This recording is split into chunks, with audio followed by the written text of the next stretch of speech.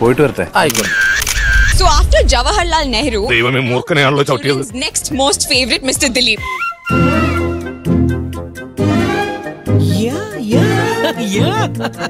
So sir, tell us about how you feel. Saima Awards 2014 in Malaysia.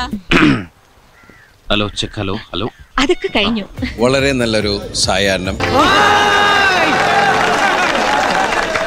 it's good it's a nice evening അത് English കലക്കണ്ടല്ലേ വളരെയധികം I M enjoying ഞാൻ കലക്കി There's always this trend. You make a movie in Malayalam, it's a hit, and they always copy it, remake it in some other language. ഞാൻ പോയിട്ട് പിന്നീട് എന്തെങ്കിലും വരാം അവിടെ ഇരിക്കില്ല ഒന്നുമില്ല ഒന്നുമില്ല So what do you have to say about that? You become a trendsetter.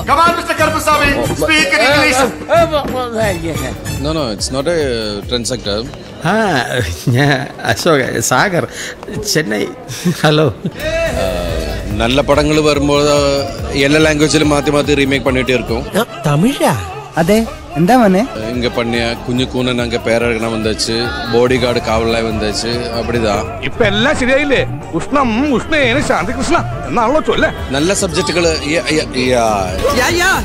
ഇല്ലെങ്കിൽ തെണ്ടിപ്പോയനെ Thank you so much, sir. Have a wonderful night, and you're looking really handsome. അപ്പൊ എല്ലാം പറഞ്ഞ പോലെ തന്നെ എനിക്ക് നന്ദിയുണ്ട് എല്ലാരും ഹാപ്പി അല്ലേ അപ്പൊ എല്ലാം പറഞ്ഞ പോലെ മോന് ഹാപ്പി അല്ലേ